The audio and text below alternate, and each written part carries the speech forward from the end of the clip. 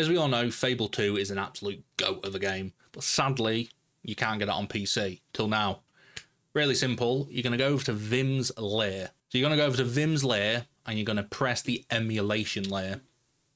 Go down until you see the Xbox 360 emulator. It's called Xenia. You're going to download it. As you can see, it's going to have a folder there. All you have to do is right click and extract. Once that's ex extracted to wherever you want it, I put it on my desktop in an emulators folder. You're able to open it up.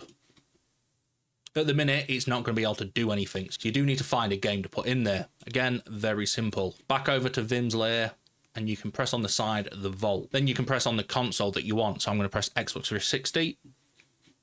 And you can see there's already a bigger list of games. Press onto F, come down, and you've got Fable 2 Game of the Year Edition. Very simple. You press that, and you press download. All you have to do then is extract it to the place you want to do it. I did it to desktop again because I like it all in the same place. So I just made a games folder, extract it in there, and it will come through as a disk image file. And then you open up your Xenia app, press file, press open, and you choose it.